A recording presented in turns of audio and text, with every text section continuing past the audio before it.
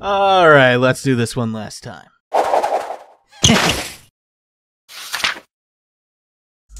My name is Sonic the Hedgehog, and I was bitten by a radioactive spider. And for the past 22 years of my life, I thought I was the one and only Stealth the Hedgehog. You may think you know the rest, but trust me, you don't really know the half of it.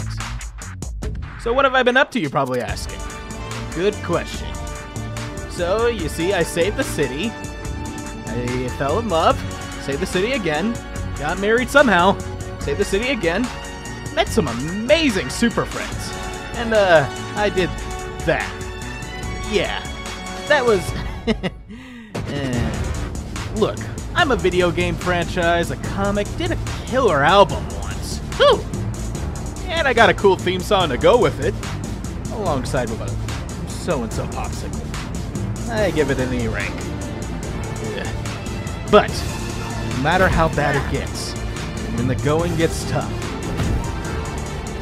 I'll always stay true to myself. Do the right thing, my own way. After all, what you see is what you get. Because after all, I'm not the only one.